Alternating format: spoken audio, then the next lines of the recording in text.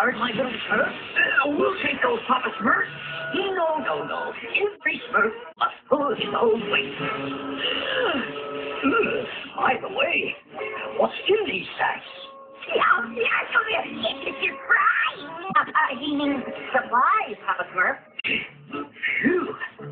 I'm a bit thirsty. Uh.